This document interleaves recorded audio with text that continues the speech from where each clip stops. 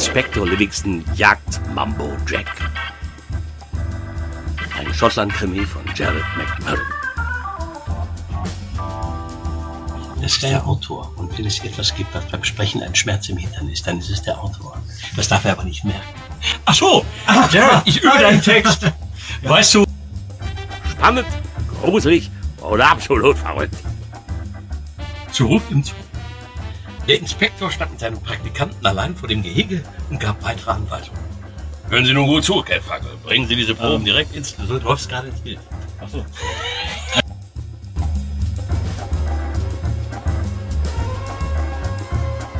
Er kann nicht immer alles nur in der Theorie erledigen und an seinem Schreibtisch sitzen. Er ist ein Mann der Tat. Als Chef müsste er auch immer viele Meetings beiwohnen. Dazu hat er wirklich keine Lust und zudem fehlt ihm auch die nötige Zeit. Sein Chef, Commissioner McKay, kann so etwas viel besser. Darum ist Inspektor Livingston der Stellvertreter. Das ist der absolute ja, Passt doch, oder? Das ist die Bontempi! Ja! Weißt du, das wird jetzt ein sehr hochwertiges Produkt und das wäre dann einfach doof, wenn, wenn dann so am Keyboard irgendwie sowas. Bist du fertig? Willst du weitermachen? Wenn es etwas Neues gibt, lassen Sie mich sofort wissen. Verstanden? Wenn es etwas Neues gibt, lassen Sie mich.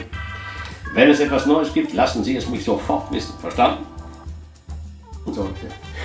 Jochen, sorry, äh, mit dem Catfucken irgendwie müssen wir noch, der muss noch ein bisschen heller sein, der haspelt noch so ein bisschen mehr, so, ach ja, und ach, ich wusste gar nicht, was die Frau wirklich, ich war nervös und so recht. So in dem Dreh irgendwie. Der Praktikant begann sofort mit der Berichterstattung und schilderte, was er in der Metzgerei beobachtet und gehört hatte. Also ich stand im Gedränge, war aber schon auf zwei Meter an die Theke herangekommen. Vor mir waren nur noch drei Leute in der Schlange. Ein, ein junger Mann hatte gerade acht Haggis-Burger bestellt. Dahinter standen noch zwei Frauen.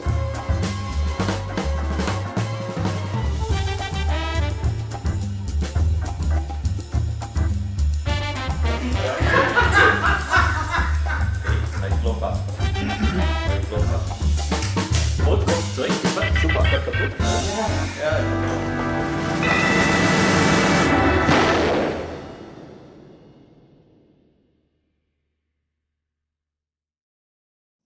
Äh, das Arg macht so, ah, so richtig diesen Arg, okay? Manchmal liefen Leute am Haus vorbei und sagten laut, ah! nein, nein.